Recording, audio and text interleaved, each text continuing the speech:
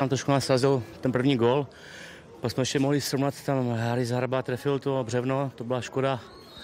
Já říkám, no druhou půli jste viděli, no, dostali jsme brzo druhý gol, pak jsme měli strašně moc šancí, dá se říct 100%, dneska prostě to tam bylo by asi s žitem 44 to tam zabetonovali.